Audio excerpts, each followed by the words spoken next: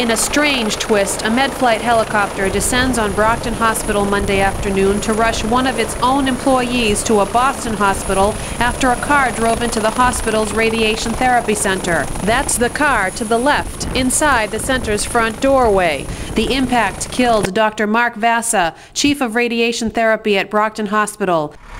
Four other hospital employees were injured. One of them, a female secretary, was on that med flight to Boston. Another doctor was treated and released from Brockton Hospital. The victims' names or conditions were not known Monday night. I, I, can't really explain it. It's a lot of different emotions, you know.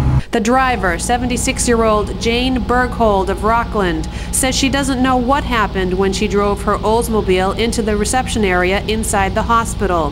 The car hit 58 year old Vasa, a Norwell father of three, while he was standing in the reception area. He died shortly after the crash at Brockton Hospital, where he worked for 20 years it's a difficult time for everybody here. It's, uh, as I said, it's a tragedy that this occurred. It's uh, sad for the person driving the car. It's sad for the people that were there. It's sad for Dr. Vasa's family.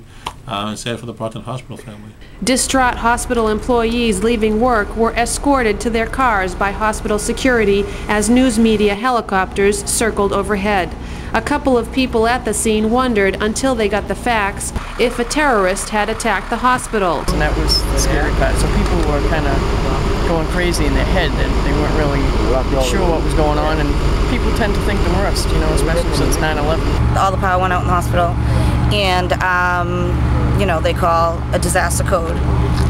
Over there I go to the nursing school and it just sounded like a big accident. Crash? A big crash and the power went out and that's it. A girl in class, she got a text message saying that this was on the news, that there was an accident. Authorities say the accident remains under investigation. No charges were filed Monday. Right now, we're doing all of our work that we have to do as pertains to the motor vehicle in question and doing a thorough background regarding the, the medical condition of the woman operator as well as the entire event itself. The Radiation Therapy Center will be closed Tuesday and will reopen on Wednesday. Maria Papadopoulos, The Enterprise.